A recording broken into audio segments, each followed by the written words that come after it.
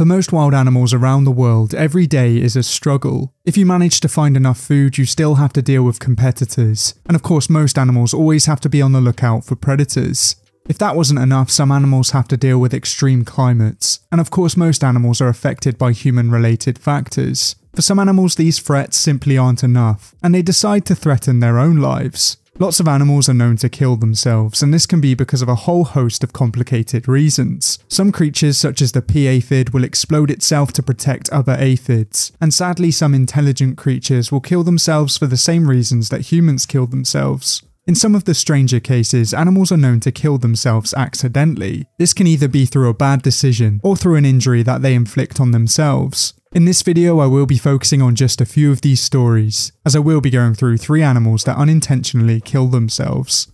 To start off our story, we will be heading over to Indonesia, as our first group of animals are the Babirusas. Now Babirusas are also sometimes called deer pigs, and Babirusa refers to a genus of animals in the swine family. All members of this genus were once considered to be a single species, but in 2002 this all changed. Today there are four recognised species, and these four species can be found across multiple Indonesian islands. I think it's fair to say that these pigs are some of the strangest looking mammals on this planet, and they almost have a prehistoric appearance. One of their strangest features are their canine tusks, and these tusks actually pierce the flesh of the snout. The size and shape of the tusks differ from species to species, and these tusks are absent on the females. For the most part, it's unknown why the males have these tusks, as they don't come in very handy when fighting as they are backward facing. It's thought that it could help defend the male's face from the lower canines, or these tusks could be used to impress the females. In the wild, this species is mostly found in the underbrush of tropical forests, and just like many other pig species, they have quite a varied diet.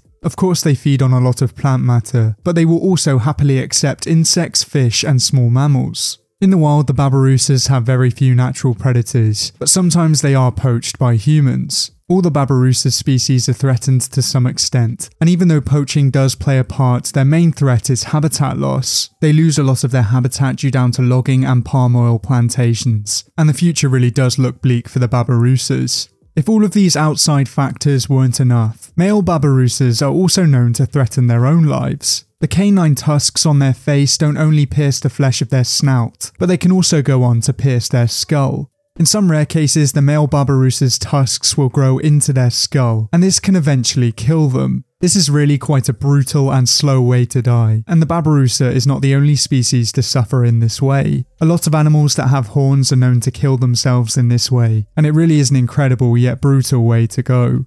For our next species, we will be making the short trip over to the Philippines, as we will be taking a look at the Philippine tarsier.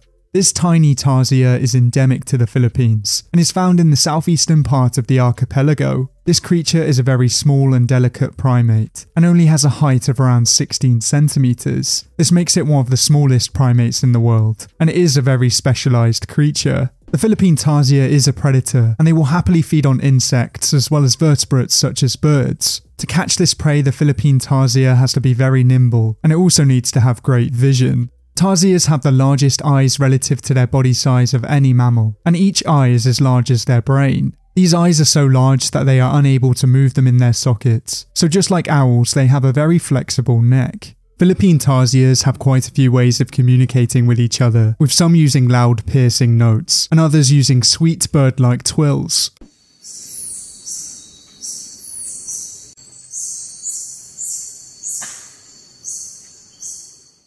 Even though many people are unaware of the Tarsier's existence, they have been on this planet for a lot longer than we have. Tarsiers first started appearing around 45 million years ago, and at one point in time they were a lot more widespread. Today, the Philippine tarsier is currently listed as near threatened, as it is facing many problems in the wild. Historically, birds of prey have been their main enemies, but today they have to face new predators in the form of invasive species. Feral cats are known to hunt tarsiers, and as there are so many feral cats in the Philippines, it can have a massive effect on their numbers. The growing population in the Philippines causes even more problems, as more of this primate's habitat is being converted into farmland, and slash and burn agriculture really hasn't helped their situation. As the Philippine tarsier is a very cute animal, lots of people want to keep them as pets. This has spawned an illegal Tarsier pet trade, and this is not only bad because it affects their wild population, but it's also bad because Tarsiers don't do very well in captivity. Most wild animals do relatively well in captivity and end up living longer than they would in the wild. Unfortunately, this is not the case with the Philippine Tarsier, as their life expectancy is essentially halved.